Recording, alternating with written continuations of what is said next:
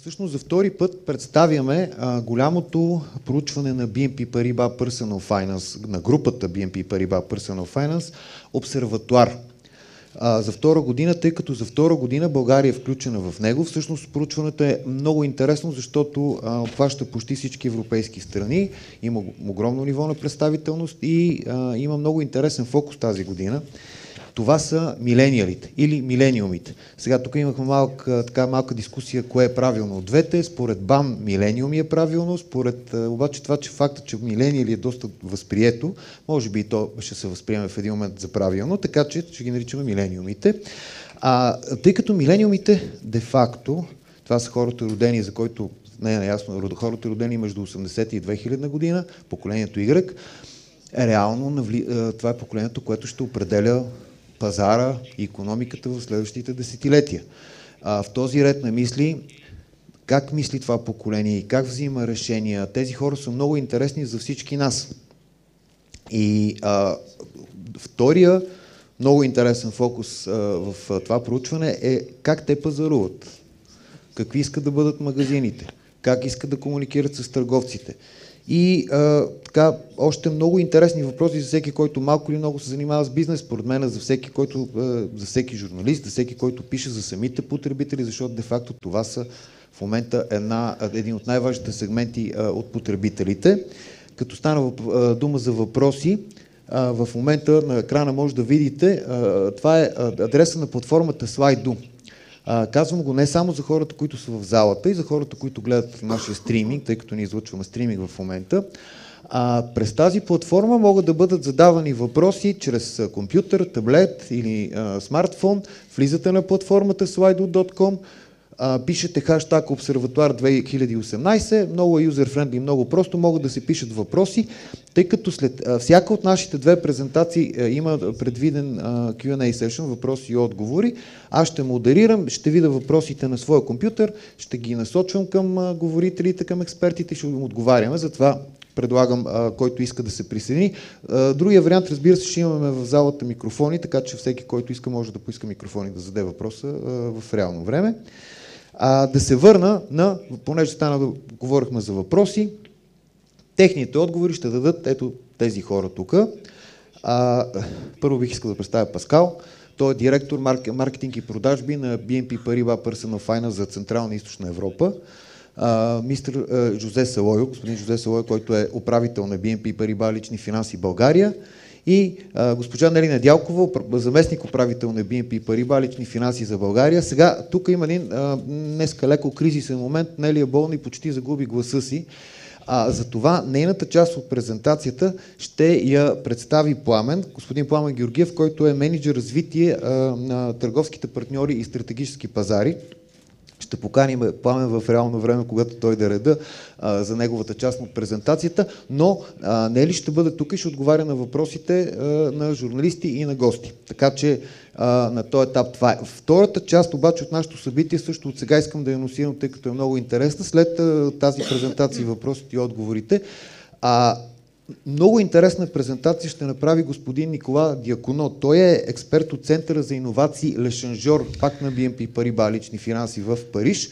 Така че а, а, той ще направи една... А, тя е още по-напред в бъдещето. Значи, ако милените са настоящето, той ще направи за Generation Z. Тоест, те са бъдещето. Много интересна презентация и също ще имаме въпроси и отговори с него, а, след като приключи.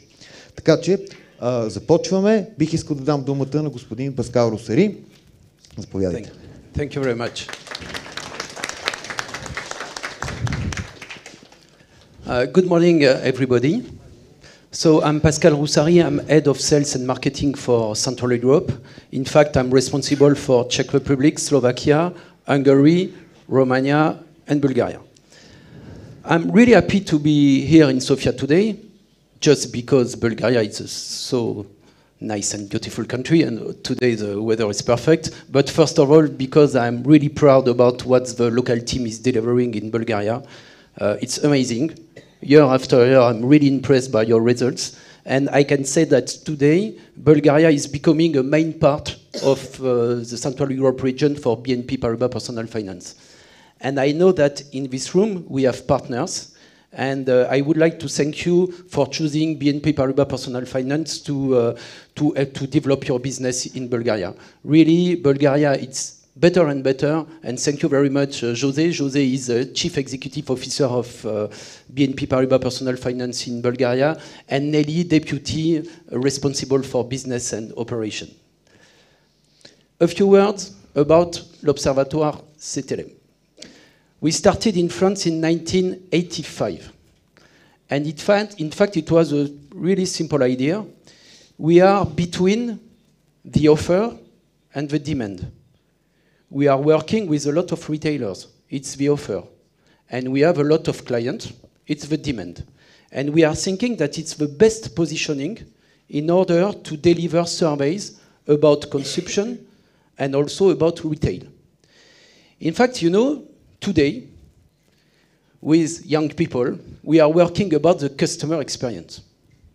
We are working about the customer experience because with digital, it's only about customer experience. But you know, when we started 30 years ago, it, in fact, it was the same way of thinking. In fact, we are thinking at BNP Paribas Personal Finance that it's not possible to speak about the business, it's not possible to speak about consumption without starting by customer expectation. It's key.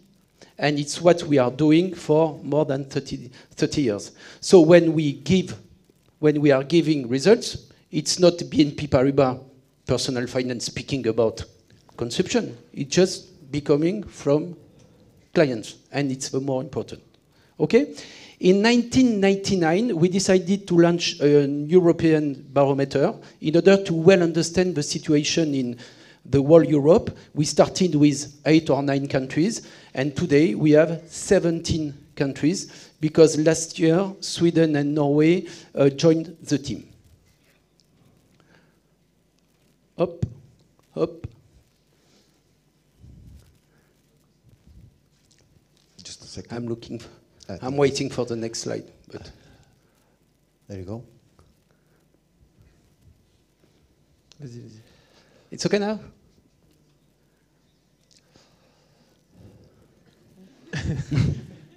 It's controlling the light. Once again. There you go. Ah, okay. Um, so, as you can see, it's in Bulgarian. I don't speak Bulgarian. I don't read Bulgarian. My English is not so good. But everything will be okay because we have really good translators. So it will be nice and you will understand everything. So, about methodology. Uh, as I said, it's 17 countries. It's a lot. Countries for North Europe, South Europe, Eastern, and Central Europe. Okay? Uh, the sample is close to 40,000 people. It's huge. And uh, it's enough to have really precise results. And each year, it's the same methodology online, and so it's easy for us to follow the evolution. And this year, the survey is mainly about millennials. So, millennials, people born mid 80s to 2000. And uh, it's with 3,400 millennials. So, we have a big sample, and in terms of results, I can say that it's perfect, it's really precise. One word about the agenda. I will present to you the global situation in Europe state of mind, purchasing power. Do we want to consume? Do we want to save money? Everywhere in the 17 countries. Then Jose will speak about millennials, generation yes. And you will see that it's really good, and we can be optimists for the future. And then not Nelly, because Nelly is looking for uh, her voice, but Plamen will speak about retail and millennials and retail. And the second part of the event will be with Nicolas, and you will see amazing things with l'échangeur. Okay? I propose to start with the global situation. And you can see that it's better and better. It's the highest level for 10 years. It's very high in North Europe. You can see in, uh, in England, you can see in uh, Germany, You can see also new countries, we are uh, Sweden and, uh, and Norway. And it's better and better in South and Central Europe. Of course, if we have a look at Bulgaria, it's increasing, but for the moment it's not high level. But you know, I think we have to, to take into account a big difference between Sofia and the rest of the country. You know, it was the case for other countries by the past. But today, I think in Bulgaria and also in Romania, we can see a lot of difference between big cities and the rest of the country. It's less and less the case, for example, in Slovakia or in Czech Republic. So it's increasing. For the moment, it's not at the right level. I don't know if there is a right level, but it's not a good level, but it's increasing. And there is also something really amazing in Bulgaria, but it's like in France. There is a big gap between what we are thinking globally and what we are thinking on uh, an individual point of view. If I speak with people in the street in Sofia, that's sure that everything is bad. But if I speak about me, everything is okay. And so you will see that there is a big gap between global and individual.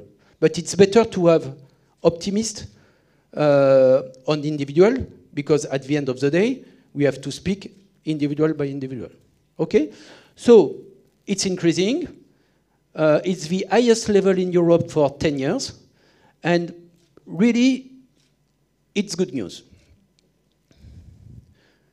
The second is the evolution for five years. And you can see that it's increasing everywhere. In fact, it's just to show that we are far from the crisis.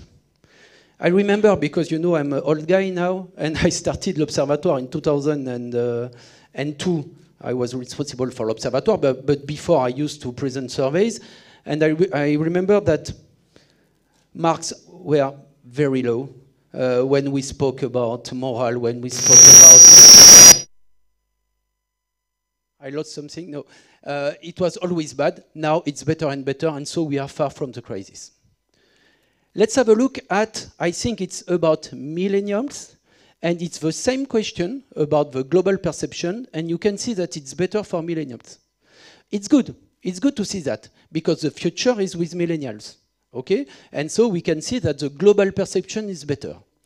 But to be fully honest, and especially in Central Europe, it's much more easier for young people today than by the past. Today, they don't have to fight unemployment. If you are young in Bulgaria, in Romania, in Slovakia, in Central Europe, well educated, with a good level at school, and if you speak English, it's not so difficult to find a, a job. You know, it's much more easier than in France. In France, you can have a very high level, and it's difficult to find a job. In, in uh, Central Europe, when we have a look at unemployment, it's decreasing.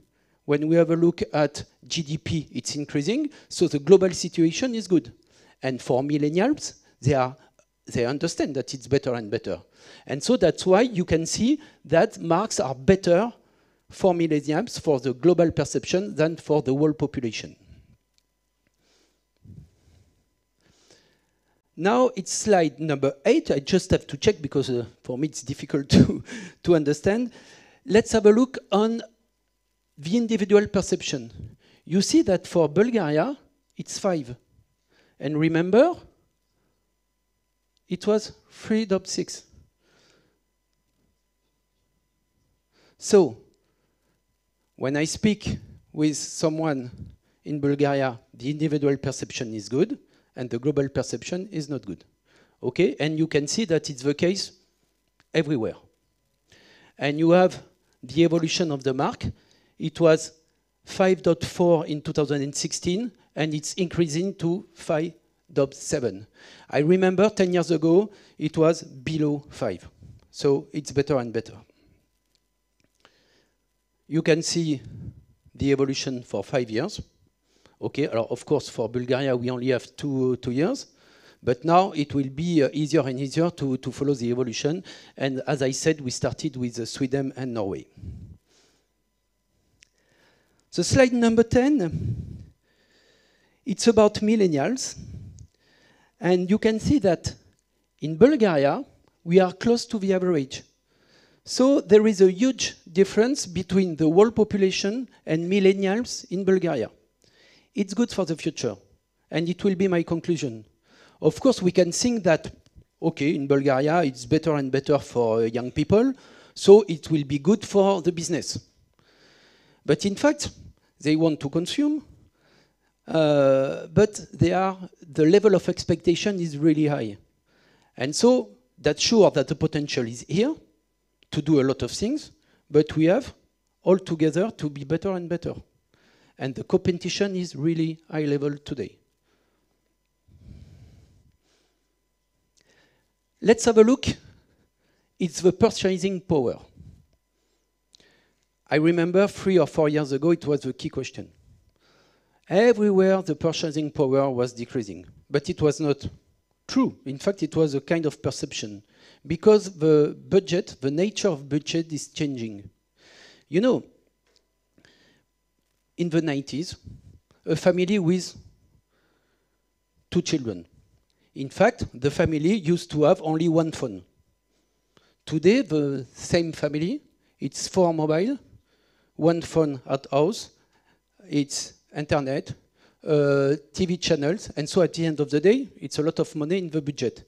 And so now we understand that the nature of the budget is changing. And in fact, it was not the case five years ago. In fact, we had in mind that we have less money to buy food or, to, uh, the car. But now it's something natural. And so be careful. Uh, we have to differentiate between perception and the reality. And today, we can see that the purchasing power, the perception is increasing by 6%, and the fact that it's decreasing, it's minus 6. And you can see that it's much more better for millennials.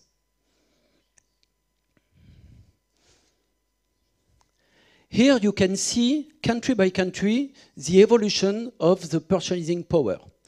For Bulgaria, plus 9, thinking that the purchasing power is increasing.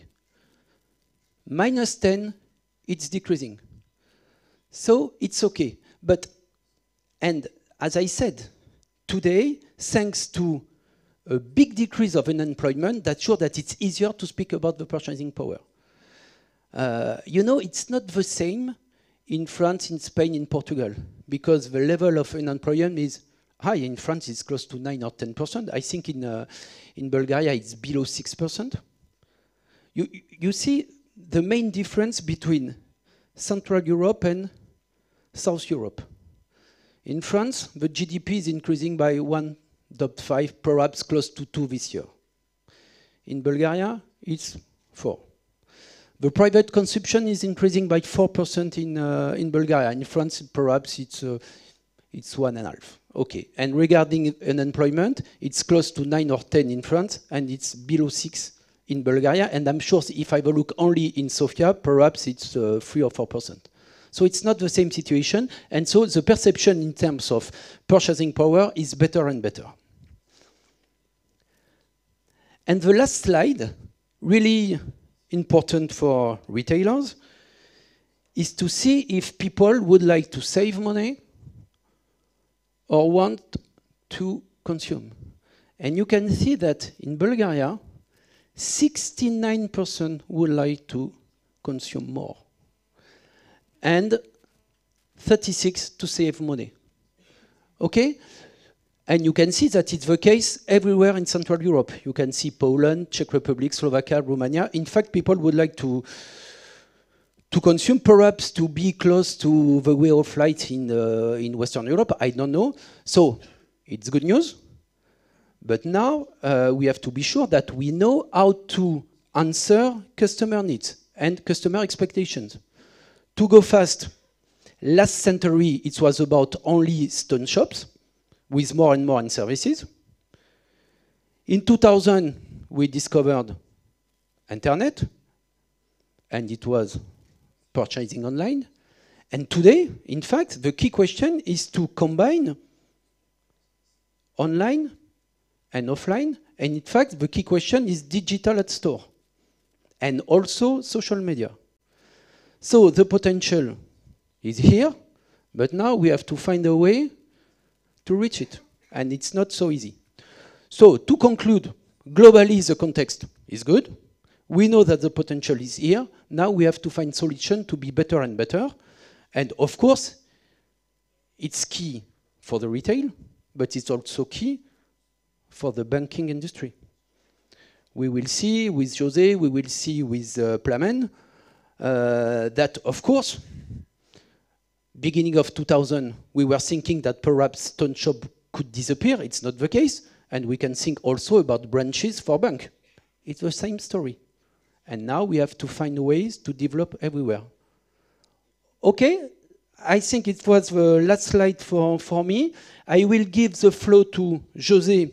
We'll speak about, you see, millennials, yes, okay, and then Plamen about retail. Thank you very much.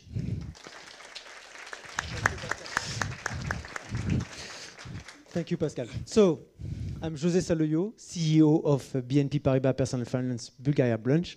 I'm very happy to be here with all of you. I'm going to present you the millennials, what, how they are perceived by their elders, what they want, and how they feel about the future. Just before to start, I would like to do a confidence to you. I'm not a millennial.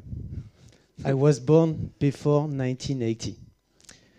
But reading the study and analyzing the observatoire, I saw that I'm sharing some common vision, common perception, and common expectation as a client. So what I propose you at the end of the presentation that we'll do with the Plamen is to share what is also your expectation, you, journalists, employees, partner, as a client, what will be your perception and expectation and we'll have at the end of the presentation to share it during the break what will be your expectation as a client. Okay? So let's start with the first slide about millennial and how they are perceived by their elders and how they are perceived by themselves. We can see on the right side harsh judgment by the over 35 about the way they qualified the millennial. Lazy, materialist, individualist, immature. At the inverse, on the left side, the millennials consider their generation as hardworking, responsible, ambitious, creative. Clearly, big discre discrepancy between both generations. But when we ask them on the next slide, what are the things very important for them, we can see that both of the generation, millennials, are sharing common value as family, but putting more importance on living, reading, traveling, and feeling. So, now, if we ask to millennial to European on the next slide, to European how they feel, if they feel more optimistic or pessimistic about the future, I can tell you very good news. Overall, are more optimistic. And Bulgarian are among the most optimistic, with 70%. Only French, Pascal, are more pessimistic. and when we ask the same question to millennials, on the next slide, we can see that are even more optimistic. And Bulgarian among the most optimistic, with 83% of them optimistic. And what is interesting is that 35% of Bulgarian state that on the last 12 months, they increase their purchase power. And this confirms one of the points mentioned by the observatoire, is that the positive vision is reflected on the positive purchase intention. That's positive for the market, positive for European market, and positive for Bulgarian market. So, this sure better increase huge intention of purchase. But when we ask them what will be their attitude vis-à-vis of this consumption, clearly, yes, they want to consume, but with a reasonable and responsible attitude, responsible consumption. That's clearly responsible, transparent, solution adapted to their project, adapted to their need. It's clearly what BNP Paribas Personal Finance Bulgaria branch propose today to our client.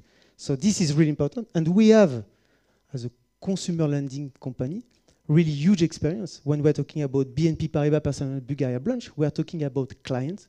We are talking about database of 1.5 million clients on which already half of them use more than twice our service.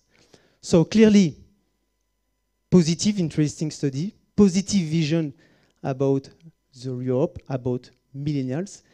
So now I propose you to let the floor to Plamen, who is going to present you the relation between the millennials and the shop. Thank you. Thank you, Жозе. Floor is yours. Чуваме ли се? Здравейте, Ah, аз съм Пламен. it's in Bulgarian? Жозе открадна част от моята първа реплика. I am a millennial. You, you, you partially pick, uh, stole my pickup line. I'm still a millennial. Обаче аз ще продължа на български. А, темата, която имам а, удоволствието да представя предвид състоянието на Нели Недялкова и нейният глас е милениумите и магазините и добрите чувства. Започваме с това. Въпросът удоволствие ли е шопингът? Тъй като в различните държави можем да видим, че хората го възприемат по различен начин. Общо за европейците шопингът е удоволствие, като процент 47% дали такъв отговор. Като за българите това е доста по-високо възприятие като удоволствие от пазаруването, 53%. Но също забелязваме и при въпроса задължение ли е шопинга за хората. Тук отново българите го възприемат по-силно като задължение спрямо европейците. Интересно можем да видим за останалите държави, че най-голямо удоволствие явно изпитат от шопинга в Италия, а най-малко го възприемат като задължение в Румъния. Това са някои по-така интересни факти. Продължаваме нататък. На въпроса всъщност какво мислят милениумите по този въпрос. Можем да видим вдясно със светло синьо са отговорите на милениумите, че те възприемат а, шопинга много повече като удоволствие спрямо останалата база от клиенти. Но а, още по-интересното е, че българските милениуми, които са най-вдясно, дават още по-силен отговор по този въпрос. Но пък а, за тях е малко, по, а, малко повече задължение, отколкото останалите милениуми. Въпреки това можем да видим, че милениумите много повече изпитват удоволствие от шопинга спрямо средната извадка за Европа. На въпроса а, какви са предимствата на физическите магазини и как те влияят на хората, когато пазаруват, а, можем да видим, че всички хора, участвали в извадката, а, са силно повлияни от това да могат да пипнат продукта, да го видят, да го изпробват. Като българите и милениумите тук са още по-зависими от а, тези неща. Интересното обаче е, че българите и милениумите в България са малко по-резервирани от гледна точка на това дали ще получат съвет от консултант, продавач или не. Тоест малко по-резервирани сме тук. Продължаваме с това какви всъщност са предимствата на пазаруването а, в традиционен магазин спрямо паза- пазаруването в интернет. Разбира се, на първо място е това, че можеш да видиш продукта, да го пипнеш, да се докоснеш до него и съответно да го вземеш веднага с теб по дома или където искаш да отидеш. Това са най-честите отговори на всички групи изследвания в проучването, милениуми, а, хора на възраст 35 плюс и цялата извадка за Европа. Това, което тук е по-интересно, че за българските милениуми а, на второ място по интерес идва това те да могат да тестват продукта, не само да го видят, но да го изпробват. Едва след това за тях а, е възможността те да го вземат веднага. А, нещо, което преди малко засегнахме и е ясно видимо и тук, а, възможността да получат съвет от консултант или информация е много, а, много малко засегната в а, отговорите на милениумите, а в отговорите на милениумите в България още по-малко засегната, което потвърждава и предишната информация. Така, продължаваме с това всъщност а, къде искат да пазаруват милениумите. Разбира се, мисля ясно за всички, те предпочитат големите търговски центрове и предимно места, където могат да получат нещо допълнително като преживяване, освен самия шопинг, естествено големите търговски центрове. Това, което прави впечатление е тук, че всички изследвани хора проявяват еднакъв интерес или привързаност към това да пазаруват в големи вериги, специализирани магазини, големите хранителни вериги, но пък милениумите в България имат по-голям така афинитет към малките квартални магазинчета и аутлет центровете, спрямо милениумите а, в другите страни и останалата извадка. Така, а, тук нещо много интересно, близка до мен тема. А, следващия слайд. Този го приключихме. Така, дигиталните технологии. Не можем да говорим за милениум поколението и пазаруване и да не говорим за диджитал. Разбира се, това е поколението, което е свикнало напълно с диджитал технологиите, трендовете и а, те са част от а, тяхното преживяване като купувачи, потребители. Uh, като най-видимо тук е, че милениумите изключително много залагат на това над останалата извадка от хора. Не бих казал зависими, но доста силно проявено е при тях спрямо всички останали. Интересно е, че за българските милениуми е много по-голям дел на отговори, които казват, че обичат да ресърчват или да проучват продукти онлайн, след което да отидат да си го закупят в някой физически магазин или така наречения ROPO ефект. В продължение на същата тема, дигиталните технологии, преживяване и така нататък, не можем да споменем, че да не споменем, че милениумите са силно привързани към социалните мрежи и присъствието на търговците там е изключително важно за тях.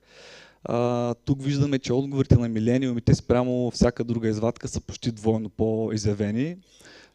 Говорим най-общо казано за следене на търговец или магазин в социалните мрежи, продукти, които качват, видеа за тези продукти, uh, дискусии относно тези продукти и така нататък. Но милениумите абсолютно ясно се вижда, че е много повече двойно дори залагат на социалните мрежи спрямо останалите възрастови групи. Uh, говорейки за пазаруването и онлайн, uh, нека видим, uh, Сашо, следващия слайд, моля те. Следващия слайд. Нека видим всъщност каква част от европейците пазаруват стрикли онлайн или а, изцяло онлайн. Тук забелязахме нещо интересно. Най-долу може да видите делът на милениумите, които пазаруват а, изцяло или само онлайн. А, в тези сини правоъгълничета може да видите делът на хората, които пазаруват изцяло онлайн, извън тази група. А, това, което прави впечатление е, че разликите са много малки. Т.е. милениумите не изпреварват, кой знае колко останалите възрастови групи по това дали пазаруват изцяло онлайн. Като най-често се пазаруват естествено продукти от културен характер, музика, книги, билети за събития и така нататък. като милениумите също така много обичат да пазаруват само онлайн дрехи, стоки за спорт и развлечение, както и продукти за хигиена и красота.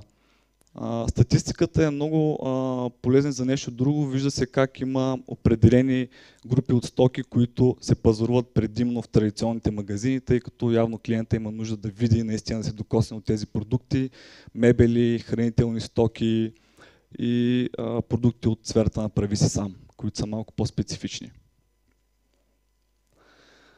След като поговорихме за онлайн пазаруването, а, даваме една друга извадка, която показва, че според европейците много голяма част от тях считат, че в близките години физическите магазини ще изчезнат или ще се променят. Тук по-интересното е, че българите, може да видите, дават още по-силен атестат за това, а милениумите и по-специално българските милениуми са още по-убедени, че физическите магазини или ще се променят, или ще изчезнат в бъдеще. В подкрепа на тази статистика даваме още нещо. Около 70% от европейците считат, че в близките 10 години магазините корено ще се променят, тъй като все пак те ще се опитат да оцелят в пазарната среда. отново тук българите и милениумите най-вдясно, а най-вгоре вдясно българските милениуми са още по-убедени, че това ще се случи и магазините наистина ще се променят. Продължаваме с това, кои всъщност са недостатъците на физическите магазини според проучването на нашата компания. Независимо от групата хора, къде живеят или тяхната възраст, всички посочват на първо място загубата на време и чакането. Това е нещо, което явно дразни всички. А, също така липсата на личност на продуктите. Тук а, а, отговорите като съотношения са много близки. А, няма някакви огромни разминавания. Натам се направи впечатление нещо друго, че при милениумите много малко те отдават значение на това дали ще получат а, всъщност а, помощ или консултация от продавачи, консултанти, дали той е квалифициран или не. А при българските милениуми най- най-вдясно това се проявява дори двойно. Те още по-малко считат това за нужно и важно за тях. Какви всъщност обаче са очакванията на милениумите за магазините от тук нататък? Какво искат те да се случи? Разбира се, както казахме по-рано, те очакват магазините да им предложат нещо допълнително, нещо извън това, те просто да си купят някаква стока. Те разчитат на някакво допълнително преживяване, което да им бъде предоставено и допълнително удобство. Да се предлагат нови технологични сензорни преживявания, да има места за отдих и релаксация, такива като за релакс, да се предлагат развлекателни дейности, които наистина да забавляват хората покрай това, че те ще пазаруват нещо. Отново видимо е, че българите спрямо основната извадка и милениумите дават още по-високи резултати, т.е. техните очаквания са още по-силни за тези, към тези изисквания. Друго, което очакват а, милениумите и не само те, естествено са бързина, да губят по-малко време в магазина, което е свързано и с удобство на плащанията и по-голяма гъвкавост. А, това е нещо, което в много голям процент се очаква от всички, почти 90, като милениумите и милениумите в България дори над 92%. Т.е. те много разчитат на различни гъвкави и бързи методи на плащане. Нещо друго, което тук сме а, видяли е, че има много силно очакване към това, когато отидеш на каса или в магазин, да не се сканират всички твои продукти един по един, а да имаш възможност всичко да се случи наведнъж, да си платиш бързо и просто да си тръгнеш. Отново тук българските милениум са с изключително високи очаквания за такова нещо. И разбира се, но не на последно място, всички хора очакват в бъдеще магазините да им предлагат повече достъпност, удобство. като например места за паркиране, да можеш да си запазиш място още преди да си отишъл да пазаруваш. да има детски кътове, където да оставиш децата си да има кой да ги гледа, разбира се. Но най-интересното е, че тук отново, както беше засегнато и в предишни извадки, е, че хората много разчитат на по-дълго време, по-дълго работно време на магазините и отново българите и милениумите с много по-силни очаквания в тази посока. Това е за момента от мен. Сега връщам думата на господин Жозе Салойо, за да направи заключение по темата. Жозе.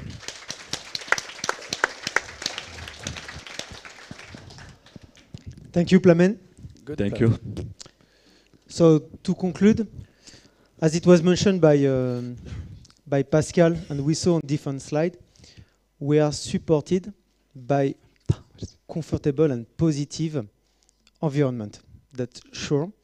And this we can see European more and more optimistic and positive about their perception about the future, about themselves. So this is clearly positive for us. And Bulgarian among the most optimistic. So, and as mentioned by the Observatoire, and as I said, positive vision is reflected on the positive purchase intention. Now, due to the fact that millennials are the one entering on the working sphere, active life, and the fact that millennials are the generation that is going to increase their purchase power, we can clearly see that with their positive attitude, we are going to increase the power purchase, and this will be positive for the economic environment. So, positive for us, positive for the market, positive for Bulgarian, with Bulgarian, a- again I say, and millennials more positive and optimistic about the future. So this is really positive. So now, if I come back on the presentation of, uh, of Plamen about the behavior of the millennials, I will ask you a question about if millennials are more digital. you are going to answer to me, yes, of course. They will continue to compare, they will continue to buy on internet using social media. If I ask you if millennials are going only to buy on online, no. Even if internet is widespread and in Bulgaria is, is increasing, we saw that shopping it's a real pleasure for them. And now if I ask you if millennials expect the shop to evolve, yes, and not only millennials, but all the generation want to feel and to live experience. So this clearly, strong majority of Europeans expect the shop to evolve. Physical shop to be original, sharing space, testing, and feeling living experience. So this is clearly the message that we saw on this presentation on the Observatoire. And again, what is really important on one of the message is that we have physical shop, we have online shop, all together they will move. All together, one of them will support together, and they are completely linked with the full fluidity on the shopping experience. And what is important, and what you mentioned, is that it's without any friction, any perturbation on this customer experience, starting from the accessibility for the payment and during all the life that we have with our client. So we saw easy, fluidity, responsible. These are must that we need to provide to our client, that we need to provide to millennials and to all the generation. And this is clearly what we propose today to our client, this fluidity, this customer experience, this shopping experience. And I will take a second point that is what we mentioned about to be able to provide this on both channels, online and physical, and both are linked. It's what I call omni-channel, omni-contact. And this is really important. This physical contact that we have in BNP Paribas Personal Finance Bulgaria branch with more than 3,000 locations, including 45 branches, but also the one that we propose in remote via phone, via email, emails, but also via digital contact form e-commerce, which represent already 30% of our demands. Clearly, we see that it's, it's a must. We need, and we are going to continue to invest to give the best experience, not the better. We need to give the best customer experience, accessibility, financing payment during all the life. So this is what we are going to do. And with you, partner, it's what we are going to work with you in order to go to this direction. So, really interesting, and it was really interesting for us to read this observatoire. I hope and I'm sure it was also interesting for all of you. So, we finish the presentation. I propose you now to go to Q&A session with uh, Nelly, and you have some uh, information to give. Please. Thank you very much. Аз също се... Работи ли? Да. Здравейте на всички. Аз също се надявам презентацията да ви е била изключително интересна, защото темата за милениумите ни занимава от известно време и ще ни продължи да ни занимава и в бъдещето. Щеше ми се, докато слушам тук, да имам възможност наистина за, да надникна само за секунда след 10 години какво ще бъде, но за съжаление нямаме тази възможност. А, ще споделя с вас какво а, сте отговорили на четирите въпроса. В общи линии извода е, че няма голяма разлика между а, това, което видяхме като информация на слайдовете и това, което сте посочили вие като настроение в, а, от присъстващите тук. Също мога да кажа, че большинството от хората, които сте тук, сте оптимистично настроени за нашето бъдеще, което е един супер, супер положително послание. По отношение на това дали след 10 години ще изчезнат магазините и ще остане пазаруването само онлайн, Большинството от вас също смятат около, малко около 70%, че магазините ще продължават да съществуват, но най-вероятно всички вярваме, че ще се трансформират. Като основен недостатък на сегашните физически магазини и ние споделяме, както и останалите а, хора, които са били интервюирани, че това е чакането на опашките. Определено ще се работи сигурно в тази посока хората, които имат физически магазини. И какво искаме да. Какво, какво очакваме от магазините в настоящия момент, за да се увеличи желанието да ги посещаваме повече, респективно тук отговора е да се плаща по-бързо и отново е синхрон отговора на хората в тази зала с отговорите, които видяхме. Така че ние сме част от а, хората, които са дали тези отговори. И сега благодаря ви за вниманието. Ще преминем към а, секцията с въпроси. Няма звук на, на моя микрофон. Да, благодаря. А, така, а, дами и господа, може да се задават въпросите по два начина. Както видяхте, единия вариант е през платформата Slido, другия вариант а, в залата имаме микрофон. Ето е лице с микрофона, така че колегите от медиите, ако искате, можете да поискате да зададете въпрос. И така, заповядайте за въпроси. Надявам се, че тя, информацията беше много, да не е била твърда много, за да, да няма въпроси накрая. Ако искате, а, за да дам възможност хората да си помислят, да започнем с един от въпросите, а, от, а, които са ни зададени през слайдо. Може би не ли първи въпрос? Дали би отговорила? Втория. Добре, нека на втория да отговорим.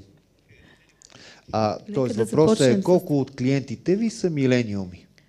Да, нека да започнем с втория въпрос. То е много интересно също, за да разберем А- колко, каква е реална част от клиентите а, всъщност а, има тези очаквани и претенции към Ние от няколко света. години в а, БНП Париба лични финанси предлагаме а, кандидатстване онлайн и към момента а, мога да споделя, че около 30% от а, заявленията, които идват онлайн са в а, категорията на, на милениумите с тенденция това да се увеличава, разбира се.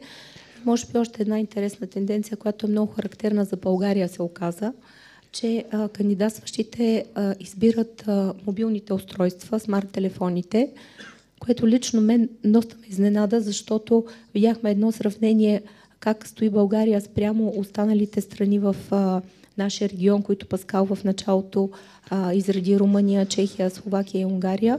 И в България ясно има тенденция, че много повече от българите а, ползват за а, подобни услуги мобилните си устройства в сравнение с примерно едни чехи а, и словаци. При нас е 70, над 70%, а там е а, под, а, под 50, ако не ме лъже.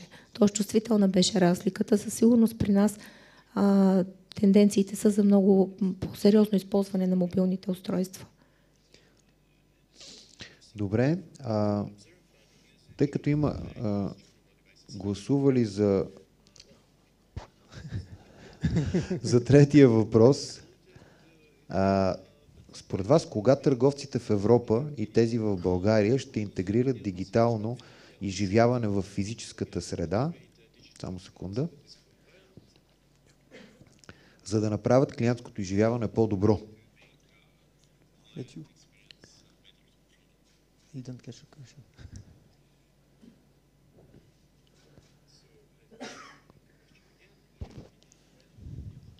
Кой ще отговори на този въпрос?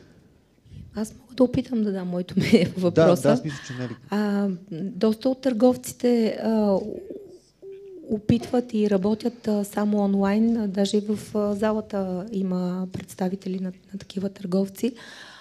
А, определено това е бъдещето, но а, истината е, че в момента забелязваме тази нужда на хората да физически да контактнат и а, дори големи компании, които развиват само онлайн а, търговията все пак а, иска да, раз, да открият и а, точки, където ще има възможност за физически контакти. Така че кога ми върви и в момента този процес, то не е нещо, което ще се случи утре или в бъдещето, ами и в момента се, а, се случва. Всъщност то, това бъдеще, което го очакваме, то в момента се случва около, около нас. А, Maybe just I, I will complete that some. On what we need to focus is this customer experience. After we can talk about digital, about innovation, but we need to focus on this customer experience. And we saw, especially for Bulgarian, to go to the shop, it's a real pleasure. And uh, this is really specific to Bulgarian market. They like to go to the big shop commercial. So the main idea is really to to propose some sensation, emotion in the shop, testing, sharing experience. So this is on what we need to work with our partner, with you, in order to propose the best experience. So this is really the focus, and after this we'll address millennials, but we also address all the generation. So that's main focus on what we need to work with, uh, with you. And we'll be part of this experience because consumer is also to give to easy access to the goods and to improve access, to improve the standard of living. So, and we need to be completely integrated on this what I call shopping experience, but also this customer experience. So this, I think, is the main focus on which that we need to, uh, to work and to focus. But in, fact, today, uh, in fact, it started everywhere because uh, it started on the food market with the drive, with the click and collect. Uh, every retailer has a, has a website, and in fact, the only way we have to behave is to think about that uh, a client can research online and purchase online, can research online and purchase offline, can research offline and purchase online, and can research offline and purchase offline. It's not so difficult. So we have to be everywhere. And I think that the, the next battle will be with conversational. Conversational is how to use uh, social media, how to use Messenger, as to, how to use WhatsApp to, to deliver transactions. And it's not so easy because, you know, for, for the moment, uh, Google is the king on the website. In fact, if you want to be uh, well, uh, if you want to, to have a good referencement, you have to, to, to deal with Google. And perhaps tomorrow you will have to do the same with WhatsApp, with messengers, because everywhere will be within a kind of application.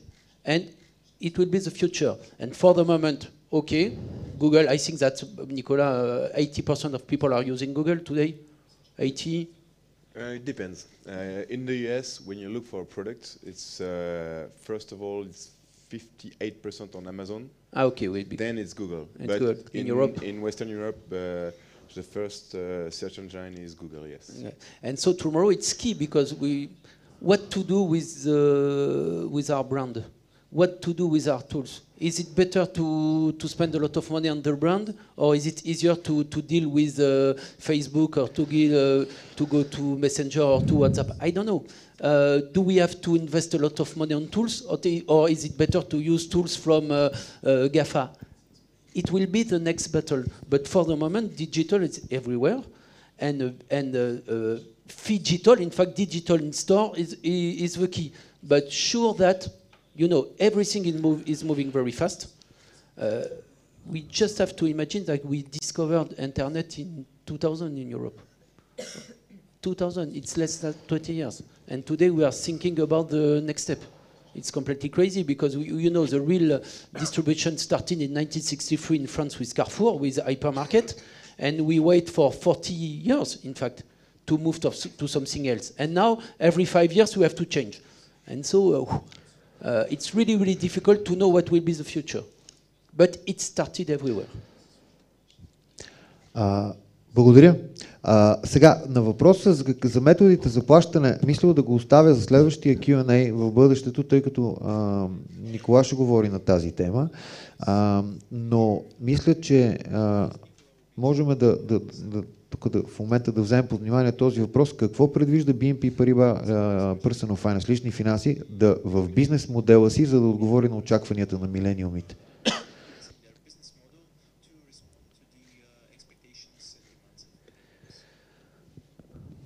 Uh, I can start if you want to, to add something. Uh, Elders to start. Uh, in fact, we, we know that we have to move from uh, a classic business model to, uh, to digital, that's sure. After, we have to know if we have to move from a classic model to digital banking or only to digital Cetelem or BNP Paribas Personal Finance. As you know, we started in Czech Republic with Hello Bank. We decided to move from Cetelem to Hello Bank. Uh, not only to be digital, but also to offer uh, current account savings because we are thinking it's, it's a way, uh, sorry, to, uh, to keep clients. But that's sure that we have something, a, big asset in Bulgaria because we have branches. You know, everywhere, and especially in France, a lot of traditional banks would like to close branches because it's too expensive and because it's possible to do everything online. But in fact, it's not so easy because the client would like also to go to branches. And so you just have to, to find the, the, the right way. And for example, if you watch uh, French TV, you will see advertising for Hello Bank. So Hello Bank is digital banking uh, within BNP Paribas. And the advertising can say, but you know, if you want, you can go to the branch for a better uh, service. So we know that now we need both pillar, digital and branches. And we are really lucky because we have branches in, uh, in Bulgaria. You know, it's not the case in Czech Republic. In Czech Republic, we started with Hello Bank without branches. We have three branches. Okay, in Prague, uh, Ostrava, and Brno. Uh, we are lucky because we are working with uh, with a lot of partners uh, on retail, so it's uh, it's a way also to be uh, to be seen at the point of sale. But that's sure that we will have to to find a way to mix digital and branches. After, we will have to compete with uh, new new actors about payment, uh, about data. And you know, uh, the most difficult for us is to fight uh, regulation, in fact. It's really, really difficult to do our job. We don't know how to use data. Uh, perhaps you know that we are working on GDPR. It's another, way to, to use data. So we need consents. We are also uh, we are working also on uh, PSD2 about payment, and it's more and more difficult. And you and you have a lot of uh, startup working on payment, but you know it's for payment. It's not possible to be the far west. Huh? Sometimes we, we need we need rules, and so now uh, we are working on the strategy, but it's not only about what to do to be close to millennials or what to do to be close to our clients. It's also how to uh, follow the regulation and also to be customer oriented. It's not, it's not so easy. It's not so easy. But we are working uh, on that. And I think that we will have several business models. When I was at the communications department 10 years ago, we were thinking that the best way was to have a Cetelem everywhere. It was the same business model and everything uh, will be okay. But it's not the case. It's not the case. In fact, we have to take into account uh, uh, each country. Uh, sometimes we are really good with partners on the B2B side, and sometimes we are better on the B2C side, and sometimes we are better on the automotive market. We don't know, and so it's possible to do to mix business uh, models and to have several uh, commercial brands. But you know, 10 years ago here, I should say uh, something different. So, so uh, okay, so we are working on that. I don't know if you want to to say something else, but uh, maybe just. I think one of the points that you, you mentioned is that uh, different channel, and for me this is really important that all have to be linked. So if someone is starting on the internet and after he go to the physical, you need to know the same client. He doesn't have to repeat the same thing. So this, what I call this omni-channel customer, should be part of our process and what we propose to a client. And to, tomorrow he can start also for the physical one and to go to online. So these are should be completely linked. So it is not only physical or digital. We saw that both of them are combined. So what we need to propose is this link together, and it should be transparent, transparent for our client in order to give this experience. So this, I think, it's what you mentioned on the different way, new behavior of our client, and we should, with you partner, to work on it in order to give this transparency and fluidity uh, to, uh, to our client. And if I come back just on, on the question, and for me, we can talk about innovation, but what is really important for also for we saw for millennials, it's some pillars as security, security of payment. Because if you don't bring this security of payment, first you will not use the tool because it's not because it's nice that if you have a beautiful house, house but you don't have the foundation and it's strong, you are not going to live inside. So this is the same for the service that we provide because we are responsible is to give this security of payment because we have a flexible card with secure payment that we provide to our client. So this is really mandatory for us. When I'm talking about security, it's financial security. Today we propose fixed interest rate with monthly in installment. There is no additional fee, something that can happen tomorrow. It's something that we propose, so it's this financial security that we propose to our client today. So this, for me, are really the, the, the basic. This responsible that we want to bring. After, we need to take this social media. So this, sure, it will be used tomorrow. So we need to be inside. We need to understand. But I think this is positive because this will be the voice of the customer. Because at the end, we can discuss what we want, but what the client expect from us, from you, tomorrow, today and tomorrow. So for me, this social network, it's also the way to collect this information. We already are doing in our company. We take the voice, we contact client during all the process, during all the relation with us, we contact the client to know how we can improve, how we can give a better service to our client. So for me, this is what they expect, and we are going to work on it. And this is mandatory, it's really main point for millennials, but also for all the other generation. But we'll focus more on two, two millions on this part. That's mandatory. If you don't propose, you're out, clearly. Благодаря, Жозе. А, дами и господа, аз предлагам, тъй като сме 20 минути, а, с 20 минути закъснение, да, на този етап да приключим с Q&A. А, след а, Николай имаме още една възможност, затова нека да благодарим на хората, които днес а, презентираха до сега, до този момент тук. Благодаря ви. Thank you. Thank you. А, и бих искал да поканя господин Никола Диаконо, а, от, който е експерт от а, Института за дигитален маркетинг Лешенжор на BNP Paribas Personal Finance в Париж. Заповядай, Никола. А,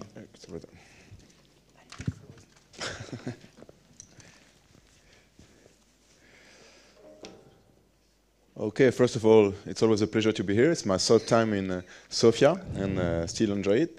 And uh, hopefully it will be your fourth time.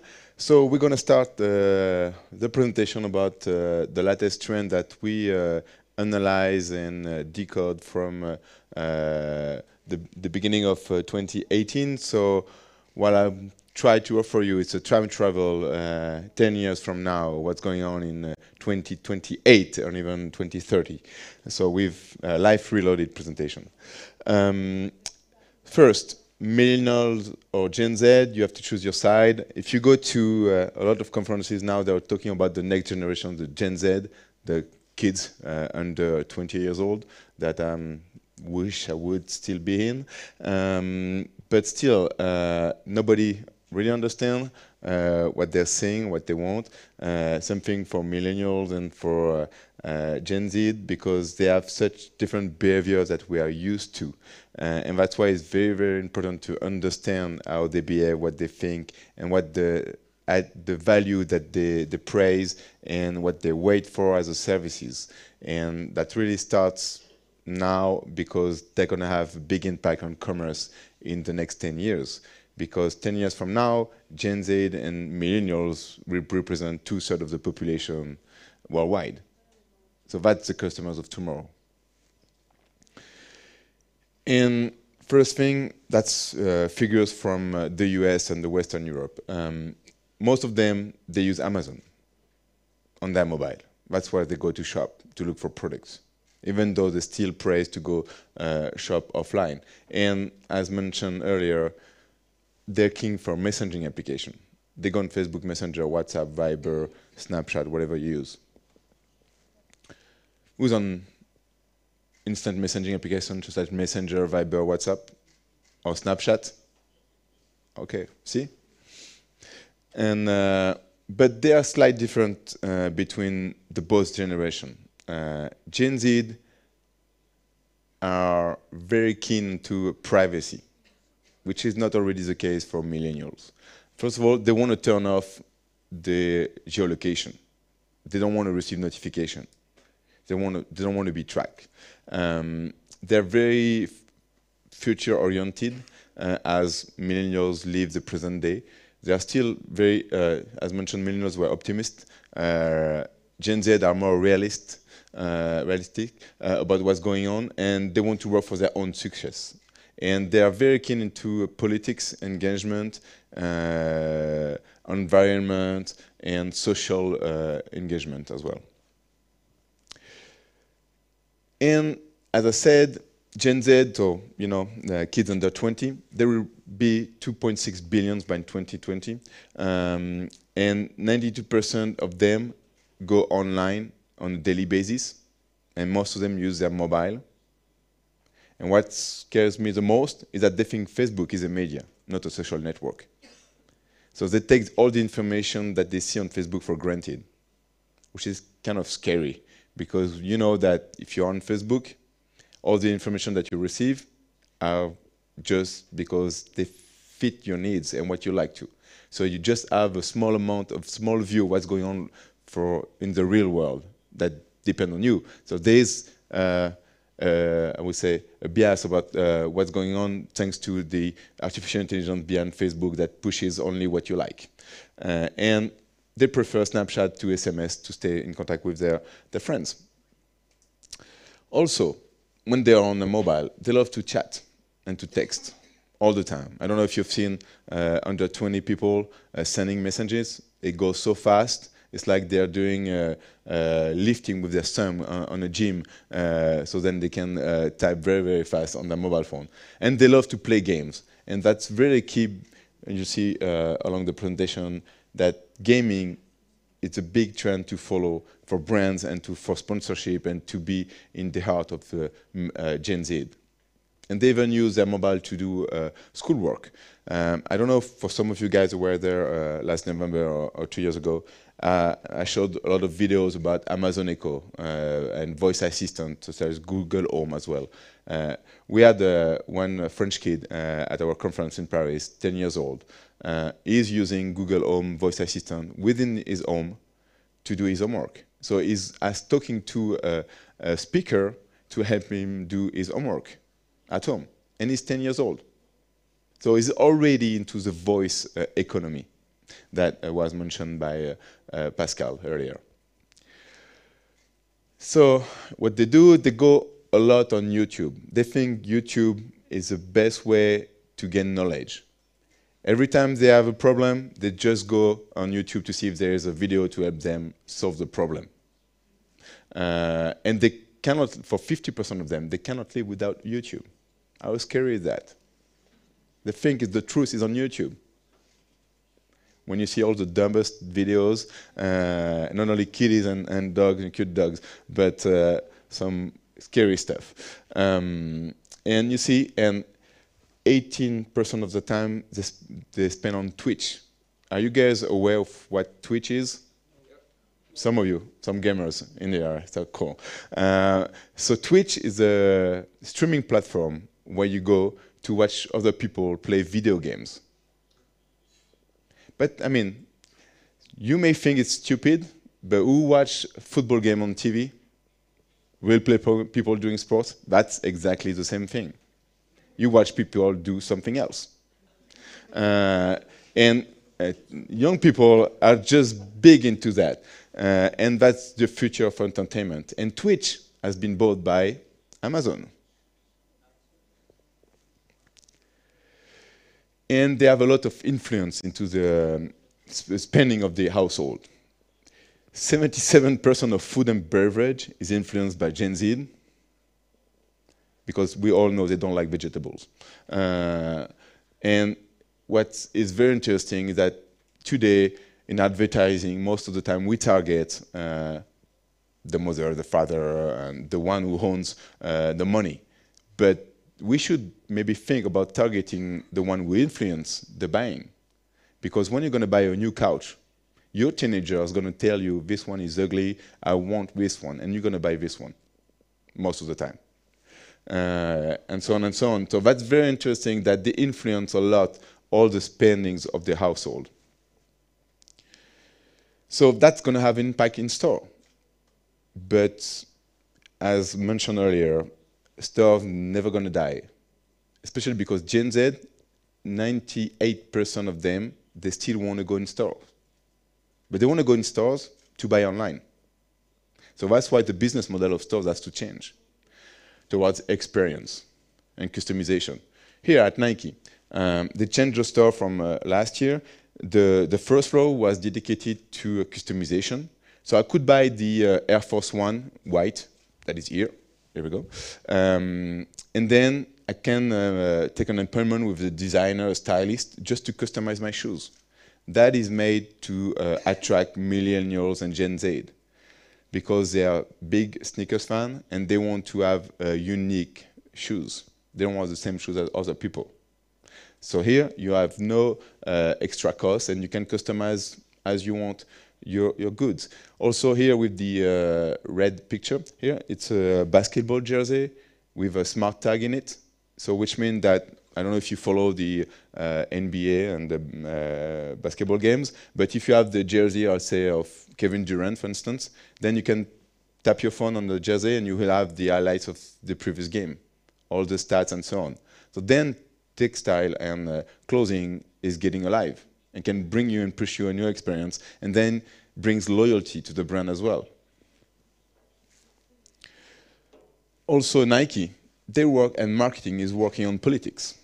You know, there are big issues with Trump in the US. Uh, so here Nike, they have made a, a launch a campaign named uh, Equality to see and to uh, fight the government, I would say, of the US, saying that there's no differences of where you're from, what's your origin in sports. We are all equal. We are all bad or all good, it depends. Uh, and then, for uh, instance, in New York, they have a, a big store in the Fifth Avenue, and they're going to change the location because the building is run by, the, by Trump's company. And they want to fight, they want to give more money to Trump. So then they're going to change the location of the store. So see, because they want also to be uh, appealing to ge younger generation that just hate Donald Trump. And that's where the customers are. They're not Trump fans. They're against Donald Trump. So they do the same as a marketing plan. What about stores? This one, American Eagle. It's uh, one of my favorites. It's in New York, Union Square, close to the uh, campus of uh, New York University. And here, within the store, if you're a student, you show your student's card, and you can do your laundry within the store while you try on clothes or while you do your homework. On the uh, second floor, you have a, a, working room here where you can work, you have free Wi-Fi, free water, and you can spend time within the store. It's like bringing services to the com surrounding communities within the stores, and then you bring loyalty, and then when they need to buy clothes, they'll go to the store here, and so on and so on. What about also the fact that brands are going to the streets?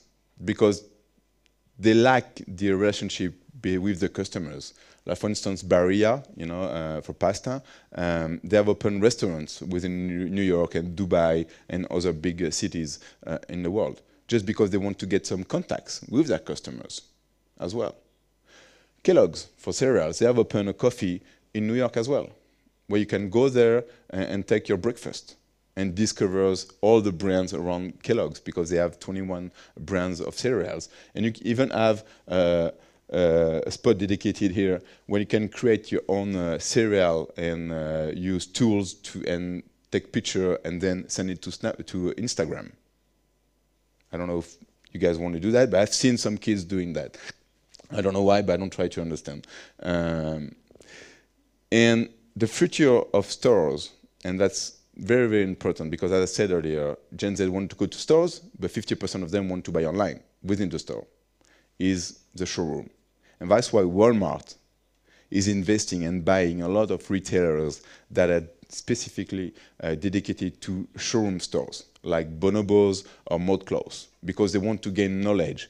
Because for them, the future of store is about a showroom where you come in, touch the product, try it on, experience it, use it, have some uh, classes about for do-it-yourself, for instance, you take classes about how to paint a wall and stuff like that, and then you buy online and you get delivered the same day or the day after.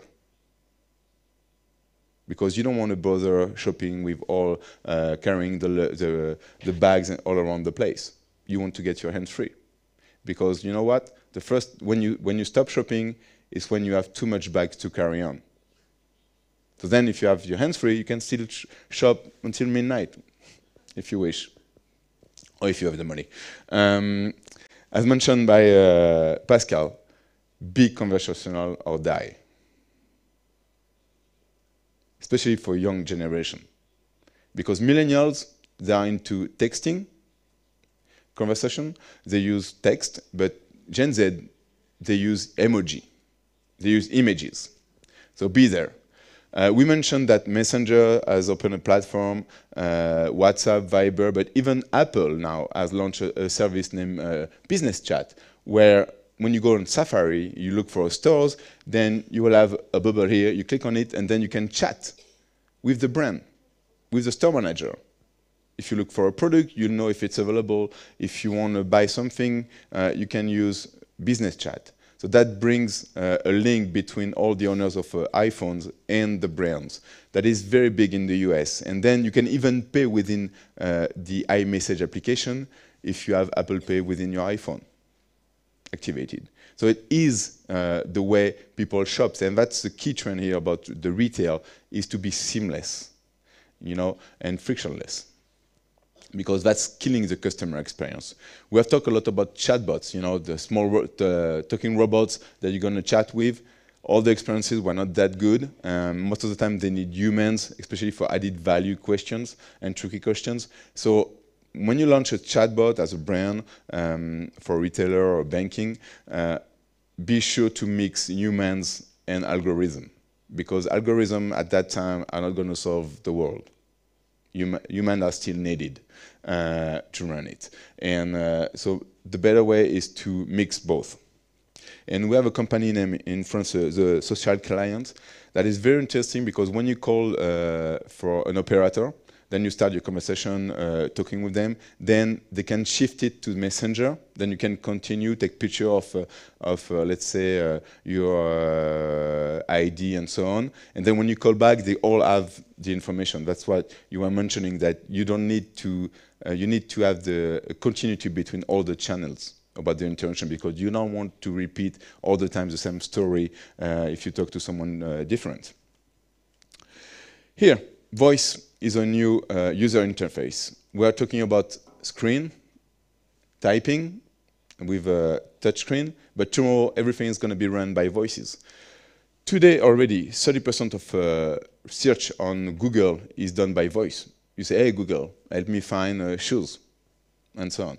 By 2020, 50% of worldwide online search will be made by voice. For Amazon, that's on the right, that's the new user interface that they, they are working on. That's why they have launched Amazon Echo with the artificial intelligence uh, Alexa. And voice assistants are everywhere, and they're going to revolutionize commerce. Uh, one third of the people that owns an Amazon Echo buy products through voice recognition. 38% of the people that owns an Amazon Echo think that Alexa, the artificial intelligence within, it is a friend. I don't know if their life is, but they think that the artificial intelligence is like a friend. So that's the future of commerce. It's already everywhere. If you go to Best Buy or even Fnac or I'm sure here in some stores, uh, electronic stores, you have uh, specific uh, places dedicated to all the voice assistants that you can find on the market. They have sold over 20 billion Amazon Echo last year in three countries. US, uh, UK, and Germany. That was the top electronic devices sold for Christmas.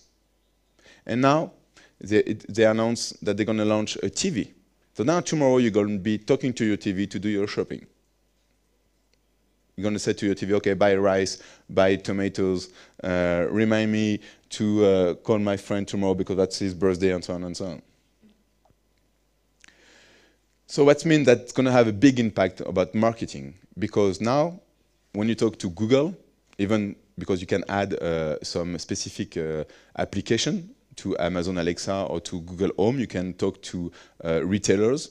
Uh, say, for, for instance, in France, you can talk to Monoprix uh, when you uh, want to shop. You say, okay, hey Google, I want to talk to Monoprix, and then they have specific add-ons on the voice ecosystem.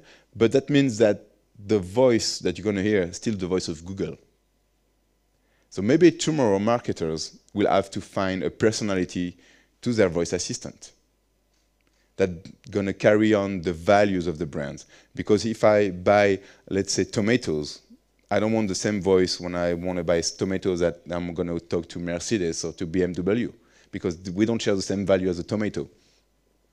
You know, so that's key for brands to uh, to uh, take on the ecosystem of voice uh, marketing and to build uh, specific personality to voice assistants, depending on the brand you're talking to. That's very, very key. Otherwise, your marketing is going to go nowhere because most of the time, if you go, it's going to disappear because if you ask Amazon uh, Echo to buy, let's say, batteries, they're going to push you Amazon basic batteries, no Duracell, no Energizer. So the brand is disappearing for voice uh, ecosystem. So then you have to take back the lead and still be uh, into that ecosystem and still exist. And just for the information, you can still, uh, if you're looking for immortality, chatbot is a good way to do it. Uh, that's uh, a journalist from the Wired magazine. Unfortunately, his, um, his father was uh, diagnosed with uh, a four-stage cancer, uh, and then for the last months, he just interviewed him a lot, registered his voice, and so on and so on, and then he created a chatbot of his, uh, unfortunately, dead fa father that he can still talk to. And then the thing is, could be creepy uh, if you think of it. But the thing is, maybe for Gen Z, that could be the way to share the value of families to their kids, thanks to digital. Because now uh, this journalist can uh, have access to all the information of the history of his family that was carried on by his father to him. And now with the chatbot, he can carry on to his son and so on and so on. So maybe tomorrow, uh, when you be uh, buying a coffin, but we have a lot of fears now from that. Uh, you, you, will uh, add uh, the option of digital chatbot of yourself, so then your kids and grandkids can still uh, talk to you. I don't know if we go there, but uh, we'll see. Still, one more scary thing. Uh, I don't know if you guys are on Netflix and watch Black Mirror series. Yeah. Yes. Okay. Black Mirror is already here. So that's from um, a presentation that uh, uh, I was um, assisting uh, in Austin at South by Southwest from Dolby, you know, the sound system and so on. And they were telling us that through the uh, intra-auricular uh, earphones, they can know everything about yourself. Because they can know all your uh, physio physiological data, how you feel, your heart rate, if you are stressed, and so on and so on. Even if they can uh, know if you are willing to have a mental uh, disease. Uh, they can link to your optical nerves, and they know where you look just with an intraocular earphones. So imagine, because some of you have an iPhone or that you have AirPods that are also earphones.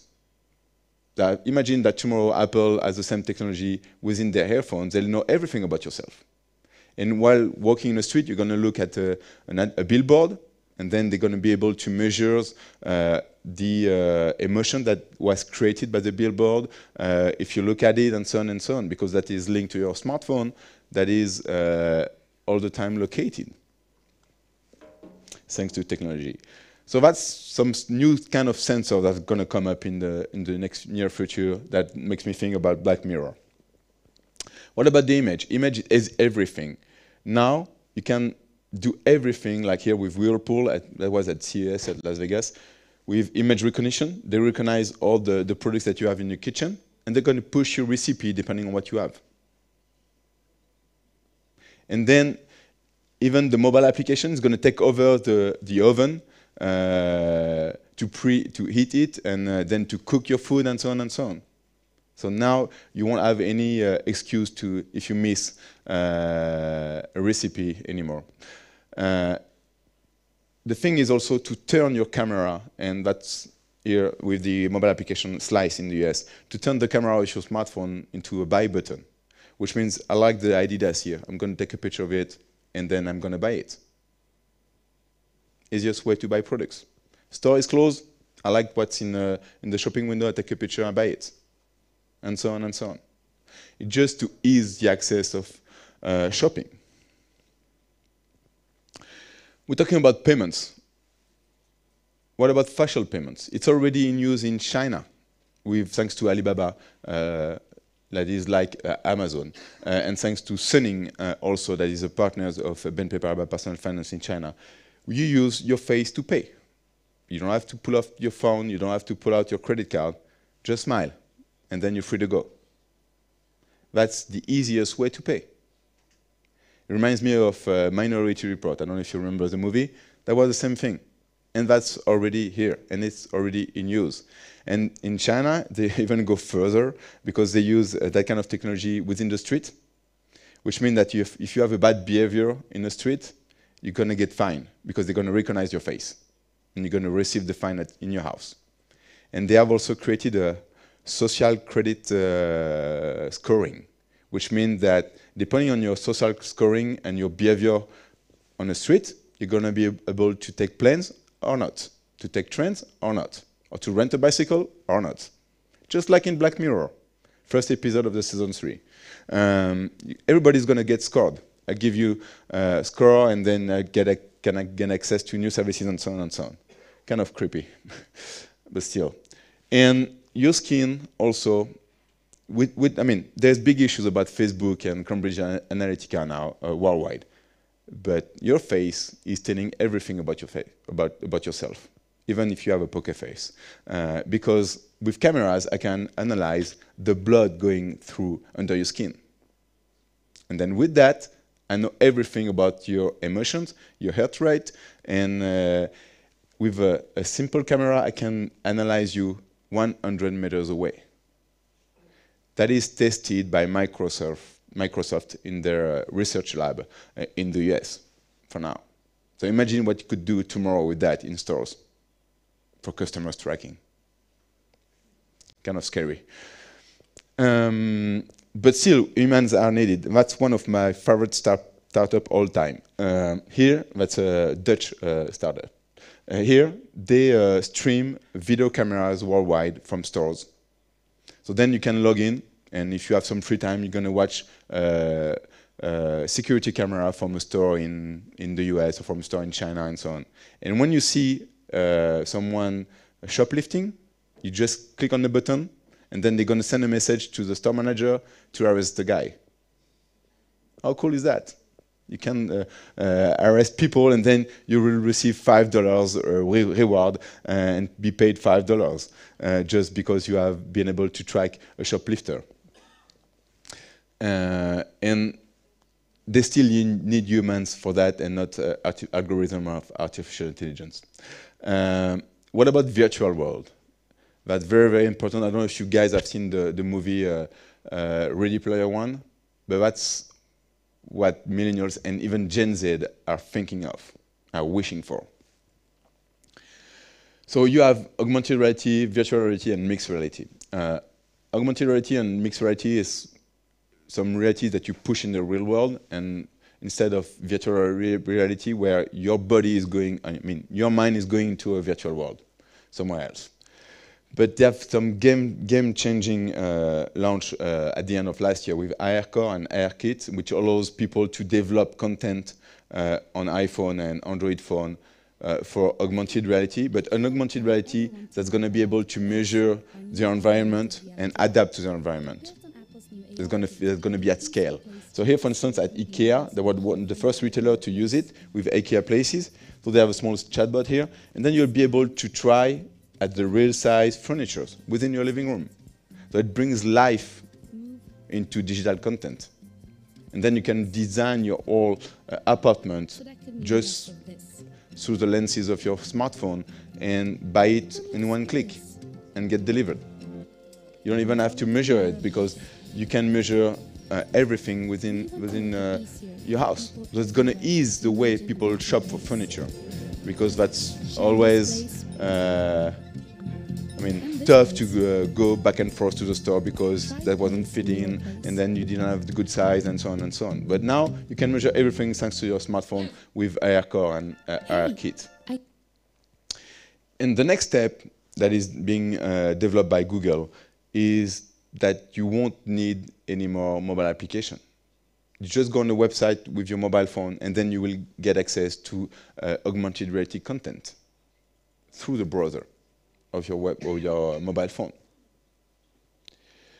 Virtual reality is already uh, being tried by some retailers in China. 10 million uh, shoppers are shopping uh, into uh, VR uh, stores. Uh, here in Europe and in US, Saturn and Walmart is testing virtual stores where people could go and shop online into virtual world.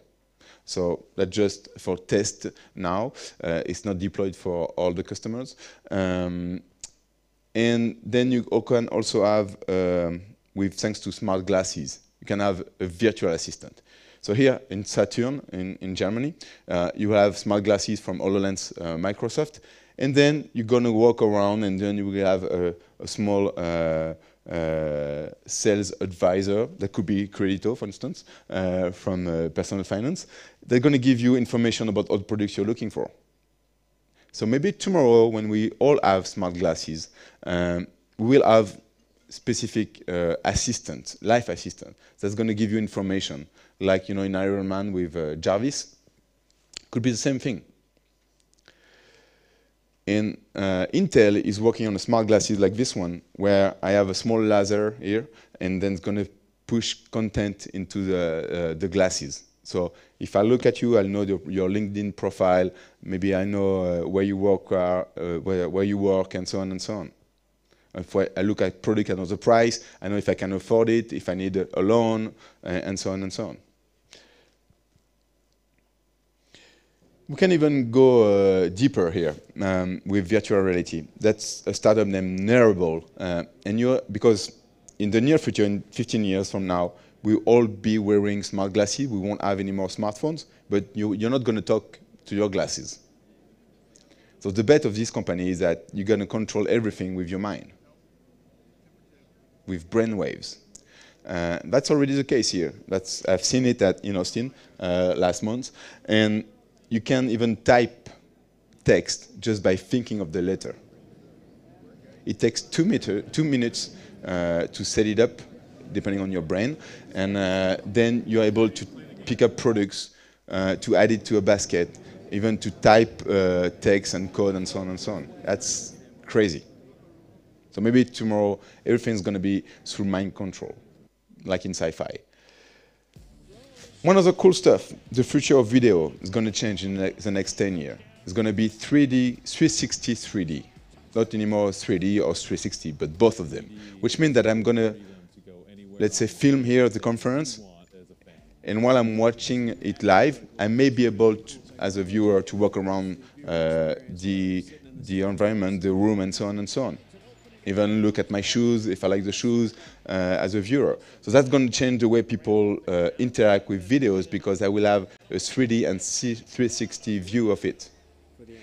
Now it's the beginning. There are a few movies uh, that have come out. Um, I won't let you. Uh, I'll let you uh, find them. It's mostly for adults, um, and uh, they're already in. And Facebook has developed its own camera to film in 360 and 3D.